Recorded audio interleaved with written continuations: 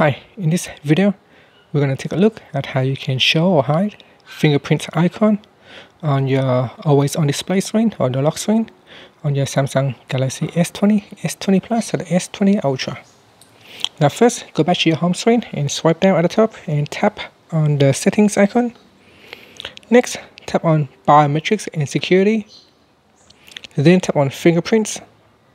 Now we need to print the PIN or password and tap on the next button.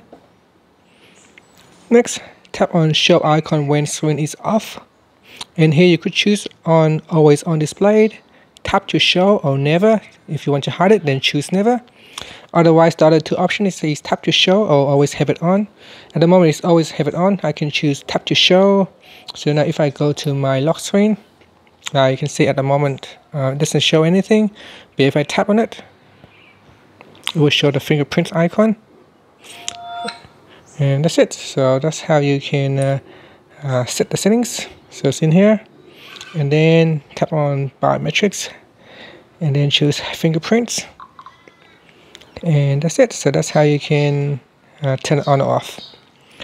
Thank you for watching this video. Please subscribe to my channel for more videos